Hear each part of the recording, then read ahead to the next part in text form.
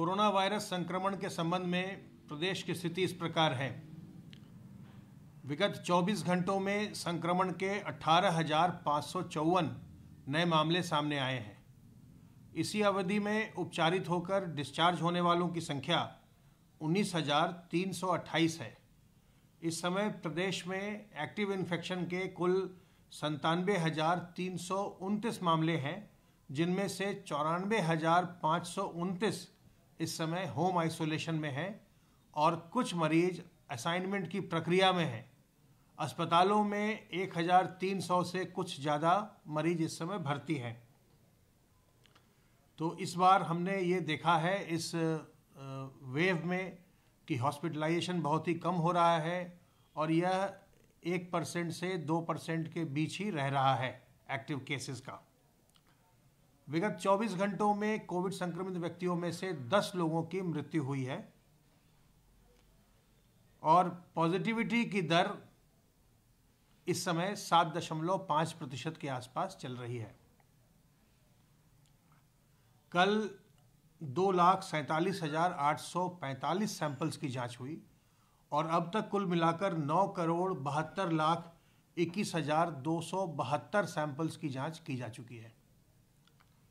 कल आरटीपीसीआर की जांचों के लिए प्रयोगशालाओं को एक लाख छब्बीस हज़ार नौ सौ तिरपन सैंपल्स भेजे गए।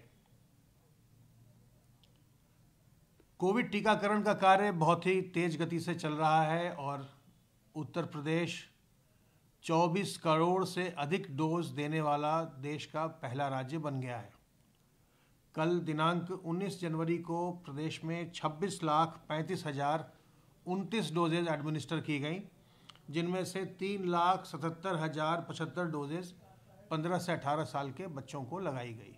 जहाँ तक अठारह साल से ऊपर के आयु वर्ग का प्रश्न है, अब तक चौदह करोड़ तेरह लाख बीस हज़ार पाँच सौ बयासी लोगों ने वैक्सीन की पहली डोज ले ली है, जो कुल अनुमानित जनसंख्या का, इस कोहोर्ट का पंचानवे दशमलव आठ छः प्रतिशत है, ninety five point eight six percent. इनमें से नौ करोड़ चौदह लाख नब्बे हज़ार सात सौ उनतालीस व्यक्ति वैक्सीन की दूसरी डोज भी ले चुके हैं, अर्थात पूर्णतः प्रतिरक्षित हो चुके हैं। यह कुल अनुमानित संख्या का बासठ दशमलव शून्य छः प्रतिशत है। पंद्रह से अठारह साल के आयु वर्ग के बच्चों में से अब तक छियासठ लाख छियासी हज़ार सत्तर बच्चे वैक्सीन की पहली डोज ले चुके हैं, जो लगभग सैंतालीस दशमलव सात प्रतिशत है।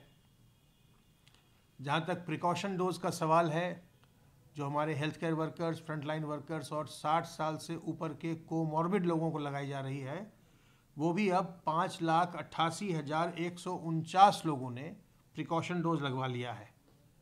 कल तक कुल मिलाकर 24 करोड़ पचासी हज़ार पाँच सौ चालीस डोजेज लगाई जा चुकी थी।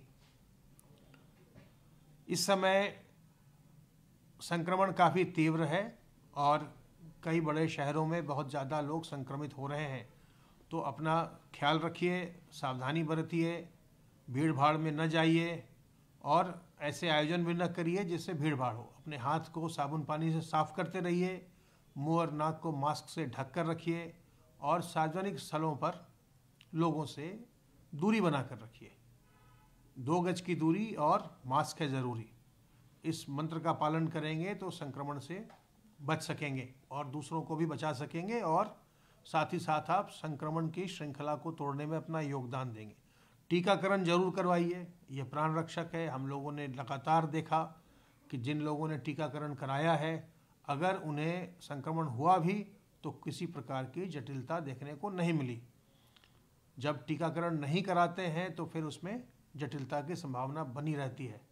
अपने बड़े बुज़ुर्गों का ख्याल रखिए, छोटे बच्चों और गर्भवती महिलाओं का ख्याल रखिए और जो पहले से किसी गंभीर बीमारी से ग्रस्त हैं, उन लोगों का विशेष ध्यान रखिए कि वो संक्रमित न होने पाए। सावधान रहिए, सतर्क रहिए। किसी प्रकार की दुविधा हो, हमारे हेल्पलाइन नंबर अट्ठारह सौ, एक सौ अस्सी, इक्यावन, पैंतालीस पर फ़ोन करके विशेषज्ञों की राय लीजिए।